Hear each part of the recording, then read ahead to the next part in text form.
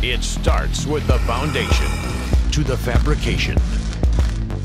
Our metal, our steel, our superior structures. Detail, steady hands. Each step taken with extreme precision. Our dedicated team has worked tirelessly to gain a superior reputation among our customers.